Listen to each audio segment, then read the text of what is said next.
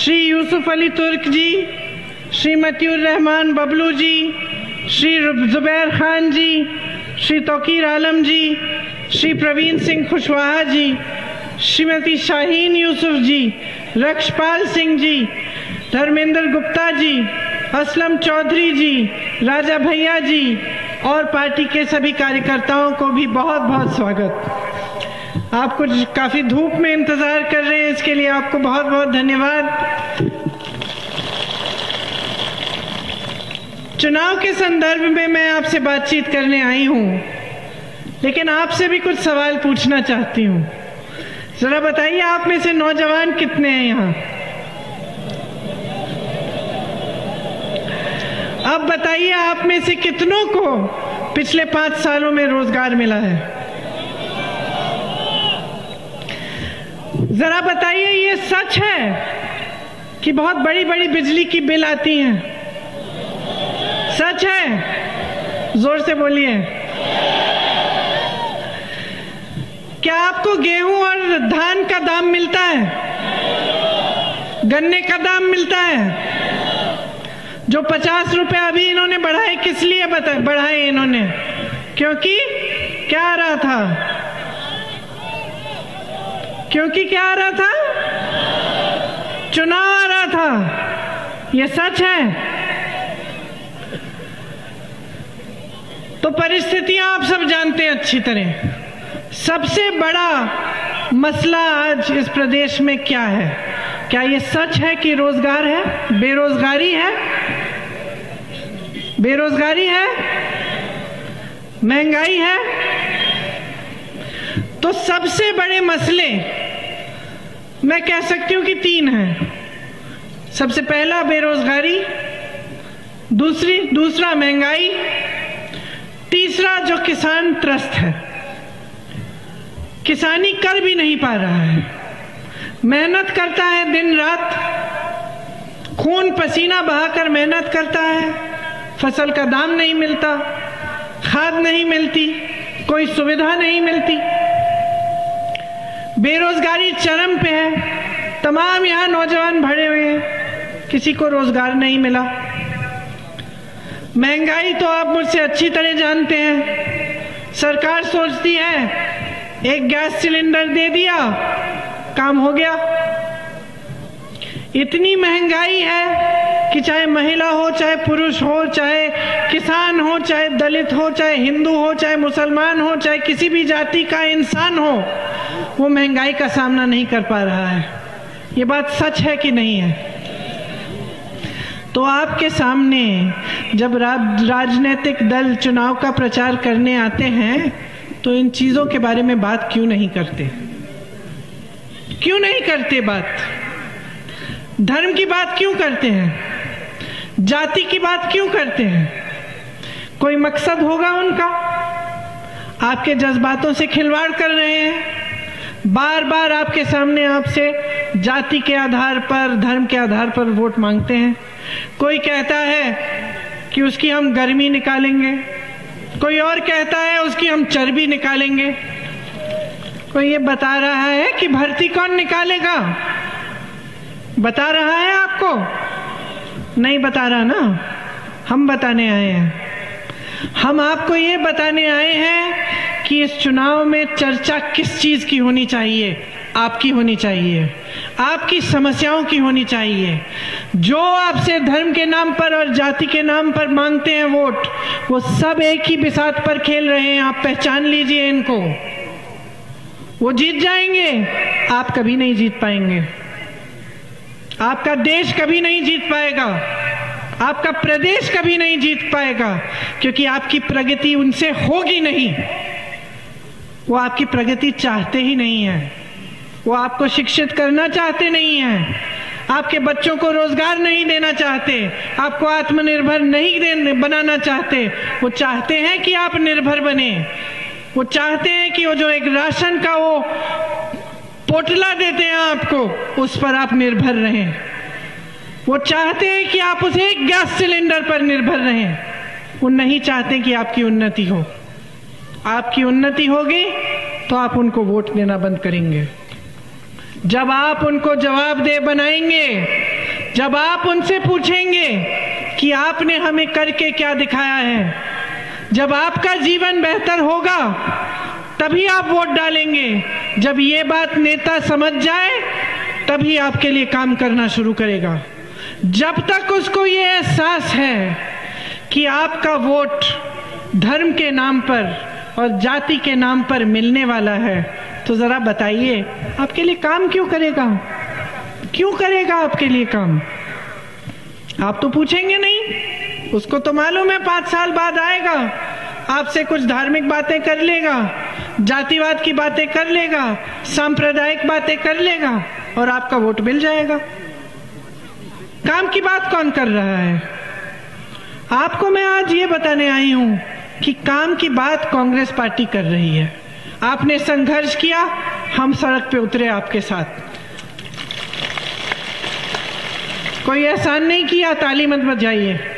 काम किया अपना हमने। अपना धर्म निभाया है आपके प्रति।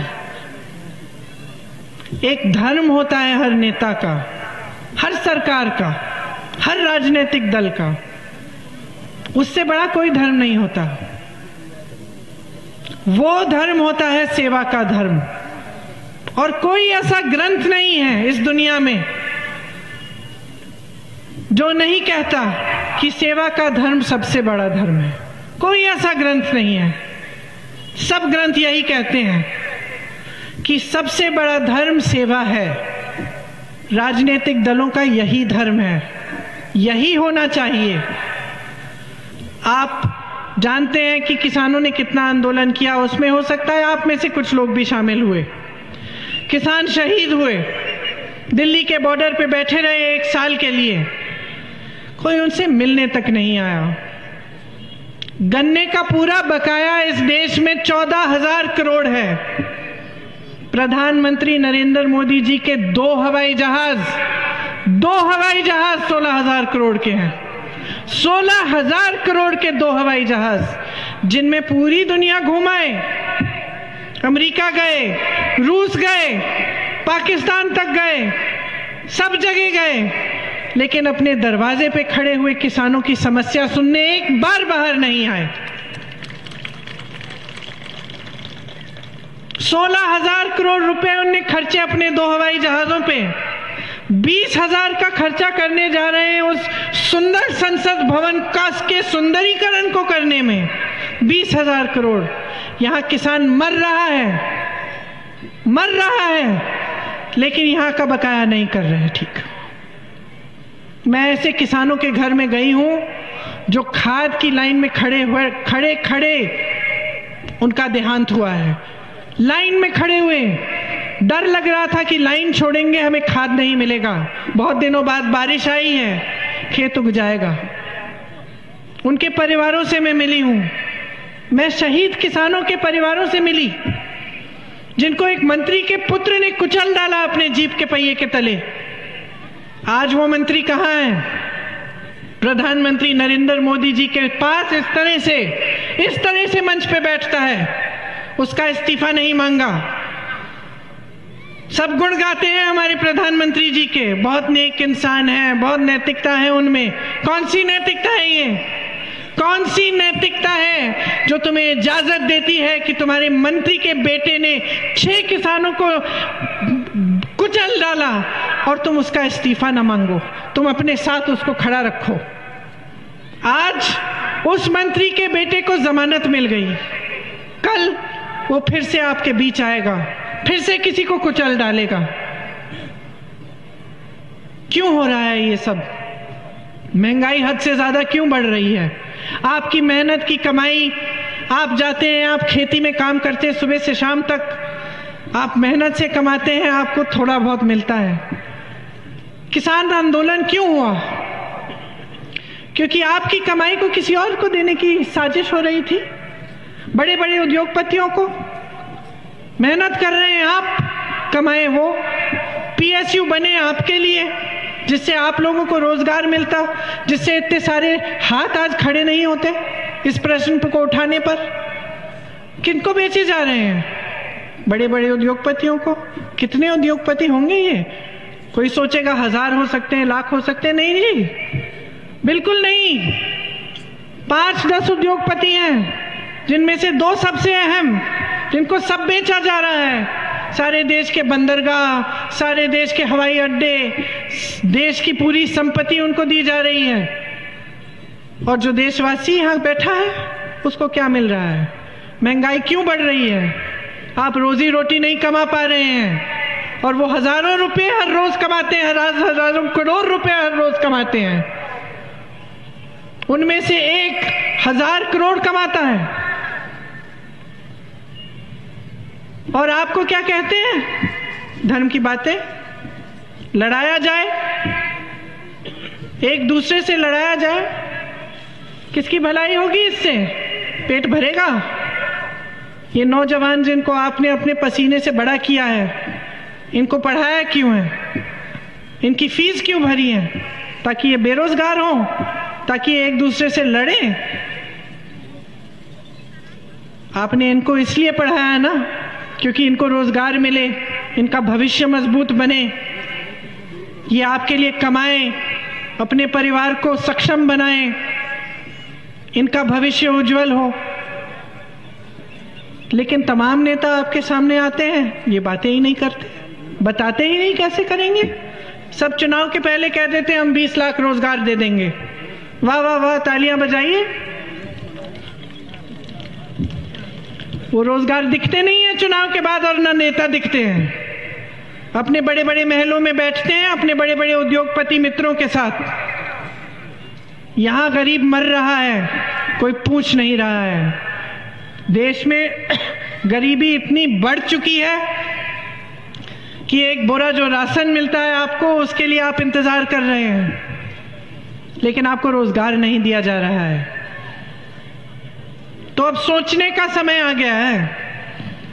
चुनाव आ गया है। फिर से बड़ी बड़ी बातें शुरू। 20 लाख रोज़गार 25 लाख रोज़गार, बड़े बड़े विज्ञापन। इतनी खुशहाली है देश में। महँगाई ही नहीं है। गरीब ही नहीं है। रोज़गार ही रोज़गार है। सारे नौजवान खुश हैं। नौकरी ही नौकरी है। यही दिख रहा है, टीवी पे दिख रहा है, रोज रोज दिख रहा है। रोज रोज नेता बड़े बड़े भाषण दे रहे हैं। बदलाव कौन लाएगा? कौन लाएगा बदलाव? आपकी आँखें कब खुलेंगी? आप कब जागरूक बनोगे? कब नेताओं को जवाब दे बनाओगे? हर नेता को एहसास होना चाहिए। आपके सामने जो वादा किया, अगर पूरा नहीं हुआ तो पाँच साल बाद आने की हिम्मत नहीं होनी चाहिए यहाँ आपके सामने। अब ताली बजाइए। ज़ोर से। तो हम क्या कह रहे हैं? हम कह रहे हैं 20 लाख रोज़गार देंगे, कैसे देंगे? हमने एक पूरा खाका तैयार किया है। 12 लाख रोज़गार प्रदेश में खाली पड़े हैं। पद खाली हैं, सरकारी पद। जानते हैं आप?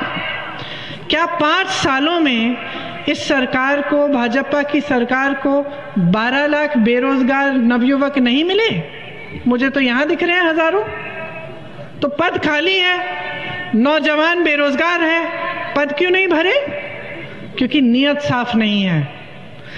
हम कह रहे हैं कि 12 लाख पद खाली पड़े हैं, सबसे पहले हम उन पदों को भरेंगे। उसके बाद आठ लाख रोज़गार पैदा करने की योजना की है। हम कह रहे हैं तुम नौजवान हो तुम अपना कुछ करना चाहते हो, छोटा बिज़नेस शुरू करना चाहते हो, हम तुम्हें एक प्रतिशत ब्याज पे पाँच लाख रुपए देंगे। हम कह रहे हैं, आप किसान हैं, हम जानते हैं कितना संकट हुआ है, हम जानते हैं आप कितना संघर्ष कर रहे हैं, हम आपका पूरा कर्जा माफ़ करना चाहते हैं। ये खोखला वादा नहीं है। छत्तीसगढ़ में हमारी सरकार है, छत्तीसगढ़ के किसानों से पूछिए सरकार ने शपथ ली और तीन घंटों के अंदर अंदर कर्जे माफ़ शुरू। आपकी आवारा पशु की समस्या है, कोई इस समस्या को नहीं उठाता। हम कह रहे हैं हमने हमने पूरी योजना बनाई है इसको, इसके लिए। छत्तीसगढ़ की सरकार ने करके दिखाया है। गोबर खरीद रही है सरकार दो रुपए की, किलो में। समझ रहे हैं आप? उस गोबर को स्वयं सहायता समूह को दिया जाता है। वो वर्मी कंपोस्टिंग करते हैं उस गोबर से। कोई सोच रही है सरकार कि इस समस्या को हम हल कैसे करें? पूरी योजना बनाई है। किस तरह से समस्या हल होगी? आप महिला हैं, असुरक्षित महसूस करती हैं अपने आप को। इसके लिए हमने एक योजना बनाई है। किस तरह से आपको सक्षम बनाएँगे? आपको कैसे रोज़गार दिलवाएँगे? सरकारी रोज़गार में से 40 प्रतिशत रोज़गार महिलाओं को दिलवाएँगे। पहले से जो आरक्षित हैं, उसी उसी आरक्षणों के तहत। हम कह रहे हैं कि पुलिस में 25 प्रतिशत भर्ती हम महिलाओं की कराएँगे। ताकि जब महिला पर अत्याचार हो तो पुलिस स्टेशन में पुलिस की, महिला पुलिसकर्मी मिले। हम कह रहे हैं कि शिक्षा के कौन से संस्थान हम खोलेंगे? कि आपकी सेहत के लिए हम क्या करेंगे? इस सरकार ने सेहत की जो बजट है उसको कम किया है। सेहत पे कर, खर्चा कम हो रहा है विज्ञापनों पे खर्चा ज़्यादा हो रहा है। तो समझ रहे हैं आप आपके साथ किस कैसी जाति हो रही है? आप समझ रहे हैं। परिवर्तन लाना है। एक ऐसी राजनीति लानी है जो आपके लिए काम करे, जो फिजूल के मुद्दे उठाकर आप आपके जज्बातों को हमेशा इस्तेमाल करके अपनी सत्ता को ना देखे। ये जो सरकार है, ये सिर्फ़ और सिर्फ़ अपने लिए काम करती है, अपने बड़े बड़े उद्योगपति मित्रों के लिए काम करती है। आप एक ऐसी सरकार लाइए, जो इस देश के गरीब के लिए काम करे। एक ऐसी सरकार जो इस देश के किसान के लिए काम करे, जो इस देश के दलित के लिए काम करे, जो इस देश की महिला के लिए काम करे, जो इस देश की मिडिल क्लास के लिए काम करे। यहाँ तमाम छोटे कारोबार दिख रहे हैं मुझे। दुकानें हैं, कुछ बंद हैं। सबसे बड़ी समस्या आपको हुई है। और समस्या खड़ी किसने की है? नोटबंदी हुई। बहुत बड़े बड़े वादे दिए गए आपको। काला धन वापस आएगा। अब लोग कहते हैं, मीडिया में कहते हैं कि क्यों उठा रहे हैं ये मुद्दे? तो पुराने मुद्दे हैं, इस पे तो चुनाव हो चुका है। इसलिए उठा रही हूँ मैं मुद्दा, क्योंकि यहाँ से शुरुआत हुई, आप पर वार हुई। आप जितने भी छोटे दुकानदार हैं, नोटबंदी से सबसे ज़्यादा मुश्किल आपको हुई। उसके बाद जीएसटी थोपी गई आपके ऊपर। उससे आपको नुकसान हुआ। फिर कोरोना आया। अचानक लॉकडाउन किया गया। उससे सबसे ज़्यादा नुकसान आपने झेला। सही बात है कि नहीं? कई ऐसे कारोबार हैं जो बंद हो गए। अब कौन है ये कारोबार? कौन है ये छोटे छोटे बिज़नेस ये दुकानें? क्या है ये? आपको मालूम है क्या है? ये वही इंजन है जिससे इस देश में रोज़गार बनते हैं। अडानी जी, अंबानी जी रोज़गार नहीं बनाते। आप बनाते हो रोज़गार। आप मैन्युफैक्चरिंग यूनिट खोलते हो, उसमें रोज़गार बनाते हो। आप छोटी छोटी फैक्ट्रियाँ खोलते हो, उसमें रोज़गार बनाते हो। आपको मार डाला गया है और उन लोगों को मदद की गई है। वो लोन लेते हैं, कोई नहीं पूछता। यहाँ किसान कर्ज में डूब रहा है। ये हो रहा है इस देश में। आपके लिए कोई स्कीम नहीं निकालता। पूरी बजट आती है। सब बड़े बड़े उद्योगपतियों के लिए।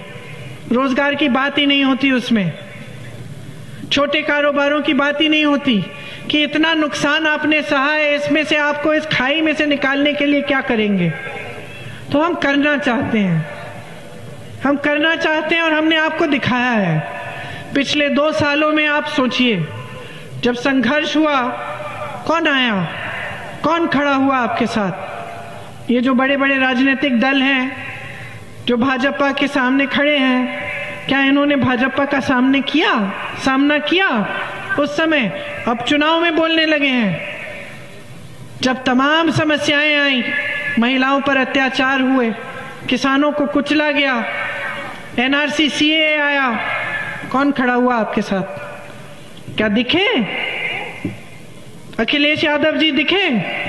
उनकी समाजवादी पार्टी दिखी? यहाँ के पास जो बच्चे मर गए थे, मासूम बच्चे खड़े थे बाहर, सड़क पे खड़े थे, कोई दूध बेच रहा था, कोई चर्चा कर रहा था, ऐसी बातें कर रहा था, अपने दोस्त के साथ गोली लगी उनको। क्या ये नेता दिखे आपको? कोई नहीं आया आपका समर्थन करने। अब वोट चाहते हैं, इसलिए आए हैं। पिछले दो सालों में सिर्फ़ और सिर्फ़ कांग्रेस पार्टी ने उत्तर प्रदेश में आपके साथ संघर्ष किया है। ये सच है। मैं जानती हूँ और मैं जानती हूँ कि आप सब जानते हैं। तो अपना वोट सोच समझ के डालिए। जो एक ही बिसात पे खेलते हैं, उनको डालने से कोई फ़ायदा नहीं होगा।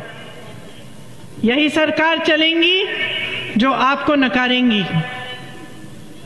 आप एक ऐसी सरकार को जिताइए जो आपके लिए दिन रात काम करके दिखाई जब आप संघर्ष करते हैं, जो आपके साथ आपके संघर्षों को समझे, आपकी समस्याओं को सुलझाने की कोशिश करे, जो आपसे आकर बात करे, आपसे पूछे, आप कैसे हैं, आपकी समस्या क्या है, बिजली की बिल आप बहुत बड़ी बड़ी बड़ी भर रहे हैं, आप तब भी भरे, जब कोरोना आया लॉकडाउन हुआ, तब भी आपने भरी।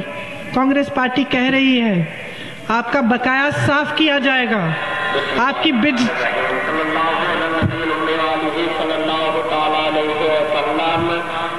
तो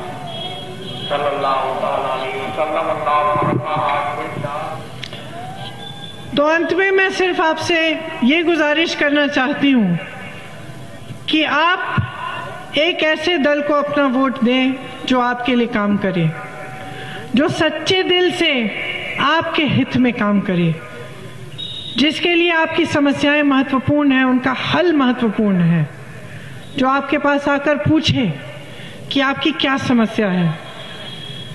ऐसे नेताओं को, ऐसे राजनीतिक दलों को बढ़ावा देने से जो सिर्फ़ धर्म, सांप्रदायिक बातें, जाति की बातें करते हैं, इससे आपका विकास नहीं होगा।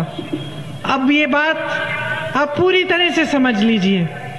पाँच साल आप देख चुके हैं। इससे पहले भी आपने अनेक दलों को परखा है। इस बार कांग्रेस पार्टी को मज़बूत, मजबूती से समर्थन देके आप एक नई राजनीति लाइए अपने प्रदेश में। एक ऐसी राजनीति जो हमेशा आपके लिए ही काम करे और आपकी प्रगति के लिए काम करे। आप सबको बहुत बहुत धन्यवाद। आपने मेरी बातें बहुत शांति से सुनी। जय हिंद। ज़ोर से बोलिए। जय हिंद। जय हिंद। जय हिंद। धन्यवाद।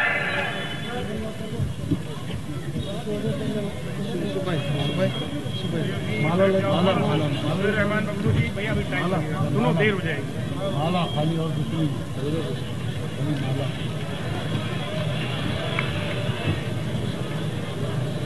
अपनी जगह पे बने रहिए पीछे बने रहिए जाओ जाओ जाओ अरे मंच गिर जाएगा आराम से पीछे भाई बाकी बाकी लोग पीछे हटो तो।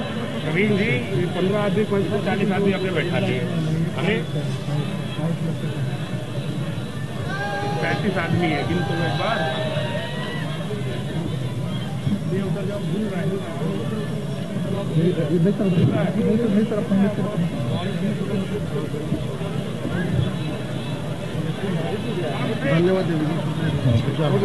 धन्यवाद।